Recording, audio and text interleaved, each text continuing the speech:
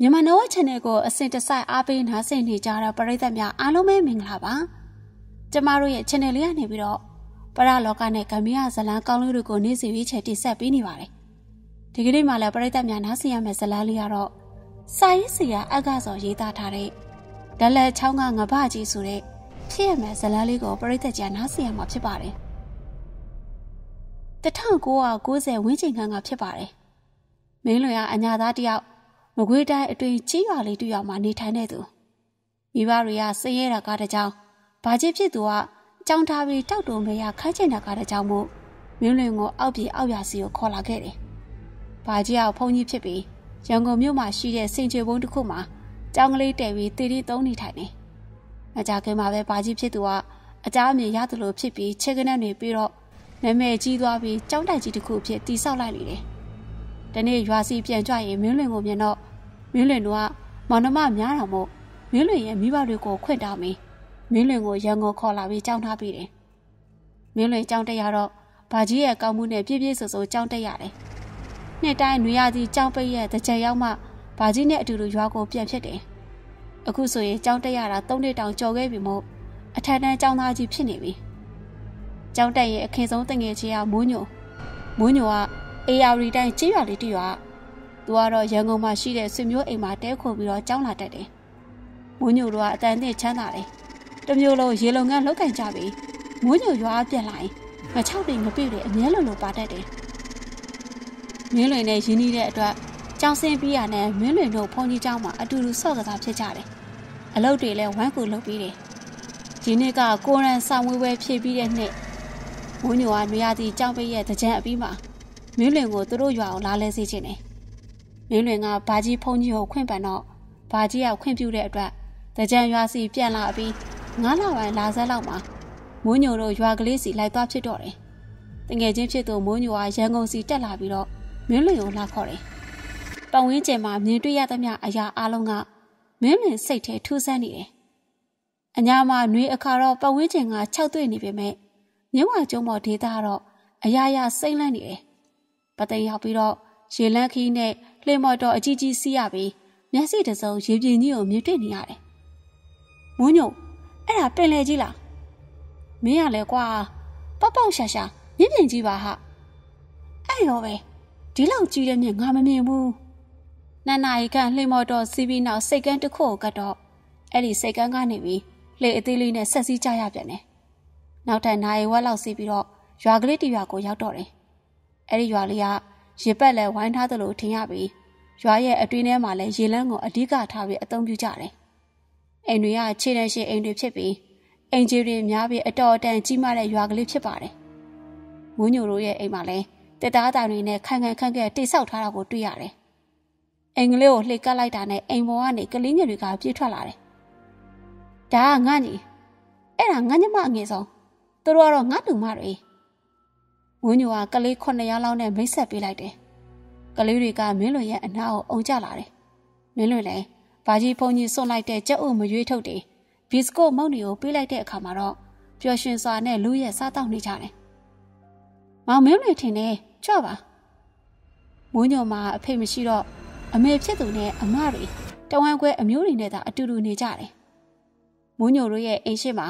ဝရဏတစ်ဖွဲ့ရေကပြင်းကြီးအကျယ်ကြီးရှိပြီးတော့ အဲ့ဒီကနေကြည့်လိုက်မယ်ဆိုရင်မြင့်ပြင်ကျဲကြီးကိုလှမ်းမြင်နေရတယ်။သားတို့စားလာကြပြီလား။ထမင်းစင်သေးချက်ထားတယ်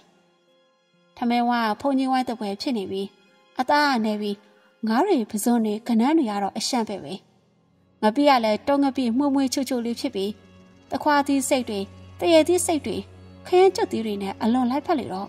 မင်းလွင်လည်းထမင်းသုံးပကံလောက်စားလိုက်တယ်။ထမင်းစားပြီးတော့ဘိုက်ကတော်တော်လေးနေပြီ။ အိမ်ရှိမှထိုင်ပြီးမြစ်ပြင်ကိုငေးကြည့်နေမိတယ်။အညိုရောင်ရေတွေနဲ့ကောင်းငင်ကတိမ်ဆိုင်တိမ်လိပ်တွေကပနံရနေတယ်။လှေကလေးတွေကလည်းတစည်းပြီးတစည်းမြက်ထဲသွားလာနေကြတယ်။အကိုကြီးလက်ဖက်တော့စားပါအောင်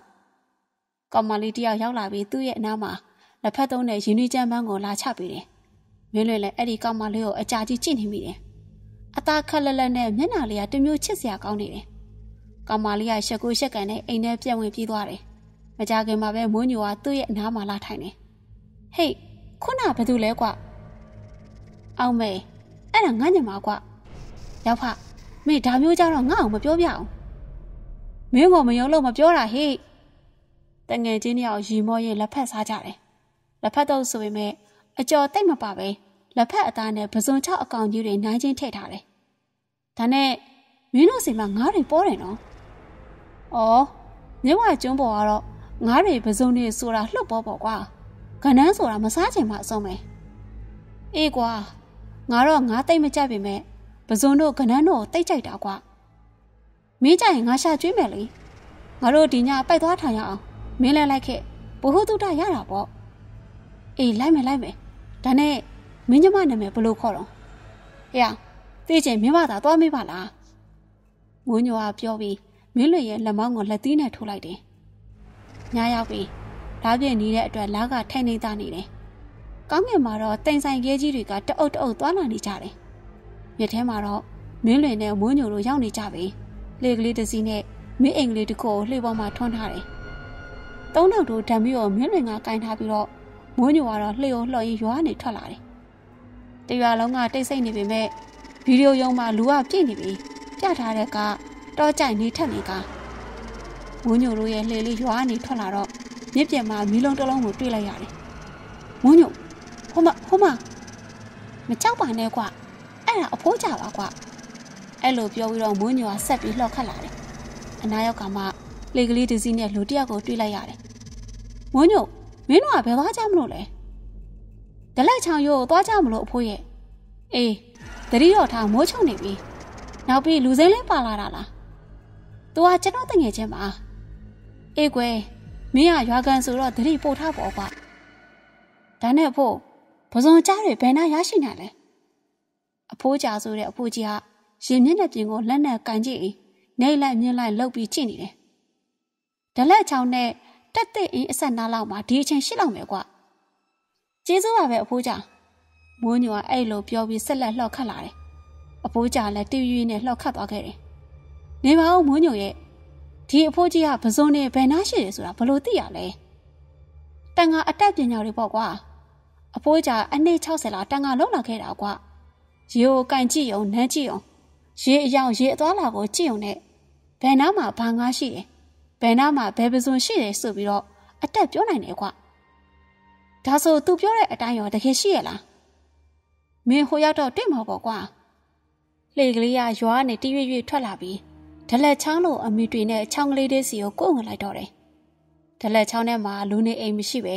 တခါတည်းရဲ့အိမ်ပြက်လေးတွေတစ်လုံးစားနှလုံးစားကိုသာတွေ့ရတယ်။ဘေးတစ်ပတ်တစ်ချက်မှာတော့လမှုပင်တွေလက်အဲပင်တွေဂိုင်းတော်ပင်တွေဖုံးလွှမ်းနေပြီးတခါတည်းရဲ့ညငတ်တကောင်နှစ်ကောင်ဂိုင်းတော်အတွင်းထဲကနေထပြန်သွားကြတာကိုတွေ့ရတယ်။ညအမောင်မှာလာရောင်ကိုတိမ်မှုသွားလေပြီ။ဒီတော့မှချောင်းအတွင်းအမောင်တို့ကြီးစိုးသွားခဲ့တယ်။မိုးညိုအဲအဲ့ဒါဘာတွေလဲ။ မင်းလွင်ကဂိုင်းတော့ပေါ်မှာပြန်တန်းနေတဲ့မီးလုံးတွေကိုလက်ညှိုးထွေးရင်လှမ်းမိလိုက်တယ်။မီးလုံးသုံးလေးလုံးကဂိုင်းတော်တွေကနေထွက်လာပြီးမိုးပေါ်ပြန်တက်သွားလိုက်။ဂိုင်းတော်တွေပြက်ဆင်းသွားလိုက်နဲ့မြင်နေရတယ်။အော်အဲ့ဒါစုံမီတောက်တွေပါ။မင်းဓမီနဲ့သွားမထုံးနဲ့နော်။စုံစုံမီတောက်ဟုတ်လား။အင်းဟုတ်တယ်လေ။ဒီဒေသကလမန်းတွေပြောတဲ့အခါအဲ့ဒီလိုစုံမီတောက်တွေမြင်ရတတ်တယ်။ငါတော့တခါမှမမြင်ဘူး။ကြောက်လိုက်တာကွာ။ ဒီစုံမီတောက်တွေချက်ချင်းပျောက်သွားမင်းလုံနိုင်နေဆိုရင်ယုံမလားမွန်းညိုအမေကိုမင်းလွင်ကဝေခွဲမြဖြစ်သွားတယ်ဘလို့ငါပျောက်သွားအောင်လုပ်နိုင်တယ်ဟုတ်လားမွန်းညိုခေါင်းညင်းပြလိုက်တယ်ပြော့ကွာဘယ်လိုလုပ်ရမလဲ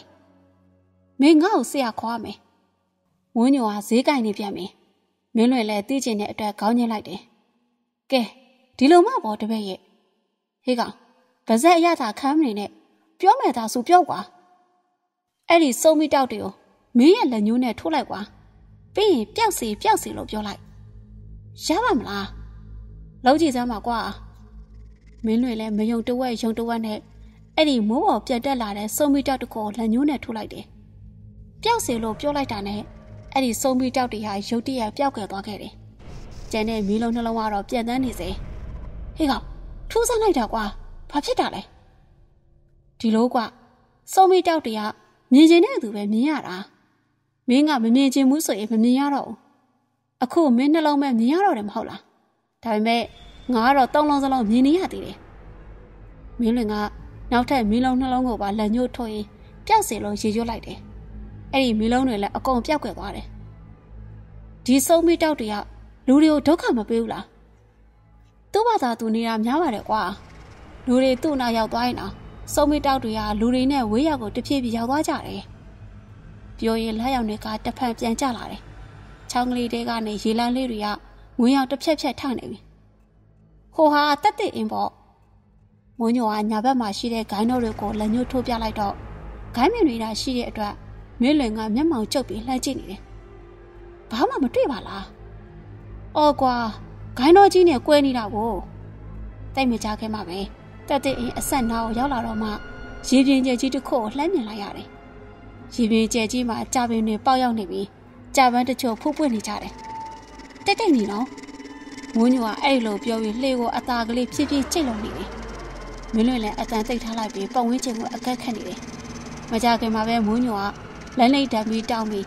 ရေပြင်းကျဲကိုလက်လိတ်တံမီနဲ့ရှက်ထိုးလိုက်တယ်။ရေမျက်နှာပြင်မှာလှုပ်ခတ်ခုံပေါက်နေတဲ့ပဇွန်တွေကိုတွေ့ရတယ်။ ပဇွန်တွေကဓမီရောင်ကိုလာရောင်အထင်နဲ့ခုံပေါက်မြူးတိုးနေတယ်။မွန်းညိုကပိုက်ကွန်အစိတ်တစ်ခုကိုကောက်ယူပြီးတော့ပဇွန်တွေကိုကွန်ချက်ပစ်လိုက်တယ်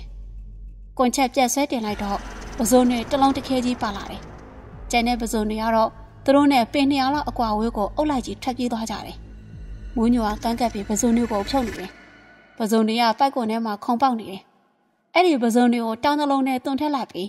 ပိုက်မှာကက်နေတဲ့ပဇွန်တွေတော့လက်နဲ့ဆက်ဖြုတ်လိုက်တယ်။ တော်ပြီပြန်ကြစို့။ဟိတ်မွန်းညို